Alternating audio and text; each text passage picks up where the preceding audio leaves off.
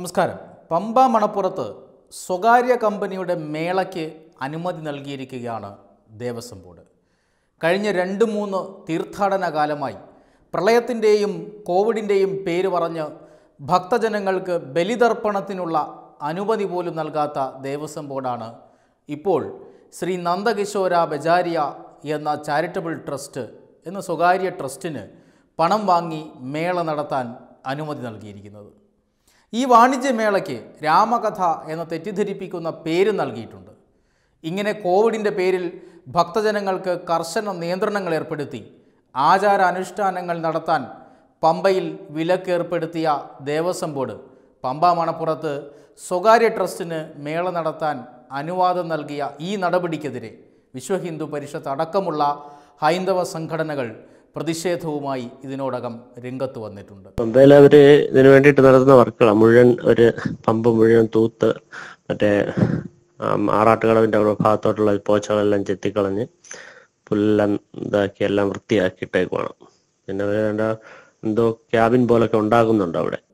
ഏത് സ്വഭാവത്തിലുള്ള ട്രസ്റ്റാണെന്ന് പോലും വ്യക്തമാക്കാതെ കോവിഡിന്റെ മൂർധന്യാവസ്ഥയിൽ പമ്പയിൽ ദേവസ്വം ബോർഡിന്റെ സൗകര്യങ്ങൾ ഉപയോഗിച്ചുകൊണ്ട് ഈ മാസം അതായത് ഫെബ്രുവരി മാസം പത്തൊൻപത് മുതൽ ഇരുപത്തിയേഴ് വരെ രാമകഥാമേള എന്ന പേരിൽ പണം വാങ്ങിക്കൊണ്ട് ഒരു കാർണിവൽ നടത്താനാണ് ഈ സ്വകാര്യ ട്രസ്റ്റിന് ബോർഡ് അനുമതി നൽകിയിരിക്കുന്നത്. ബോർഡ് സെക്രട്ടറിയുടെ ഈ ഉത്തരവിനെതിരെ ശക്തമായ പ്രക്ഷോഭം നടത്തുമെന്ന് വിശ്വ ഹിന്ദു പരിഷത്ത് സംസ്ഥാന പ്രസിഡന്റ് വിജി തമ്പിയും ജനറൽ സെക്രട്ടറി വി ആർ രാജശേഖരനും വ്യക്തമാക്കി.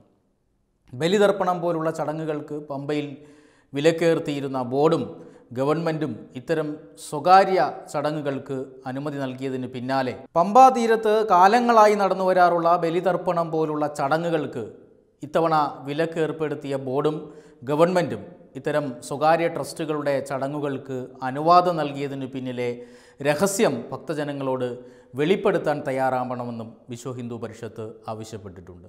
ശബരിമല തീർത്ഥാടന കാലം കഴിഞ്ഞ ശേഷം കോവിഡിന്റെ അതിതീവ്രമായ മൂന്നാം ഘട്ടത്തിൽ നടത്താൻ ഉദ്ദേശിക്കുന്ന ഈ സ്വകാര്യ പരിപാടി വളരെയധികം സംശയാസ്പദമാണ്. ഇക്കാര്യങ്ങളിൽ ബോർഡ് വിജിലൻസ് അന്വേഷണം നടത്തി കൂടുതൽ വ്യക്തത വരുത്തണം എന്നും അവർ പ്രസ്താവനയിൽ ആവശ്യപ്പെട്ടിട്ടുണ്ട്. സത്യത്തിൽ ദേവസ്വം ഭൂമിയും വസ്തുവകകളും മതാനുഷ്ഠാനങ്ങൾക്കും മതപരമായ ആവശ്യങ്ങൾക്കും ഭക്തജന വികാരങ്ങൾക്കും അനുസൃതമായി കാത്തുസൂക്ഷിക്കാൻ പ്രതിബദ്ധതയുള്ള ദേവസ്വം ബോർഡ് ഇത്തരത്തിൽ ക്ഷേത്രവുമായി ഒരു ബന്ധവുമില്ലാത്ത ഒരു വാണിജ്യമേളയ്ക്ക് ഭൂമി വിട്ടു നൽകുകയും അതിന്റെ നിർമ്മാണ പ്രവർത്തനങ്ങൾ പുരോഗമിക്കുകയും ചെയ്യുകയാണ് എന്നാണ് പമ്പയിൽ നിന്ന് ലഭിക്കുന്ന റിപ്പോർട്ടുകൾ. വെബ് ഡെസ്ക് തത്തുമയ്യ ന്യൂസ്.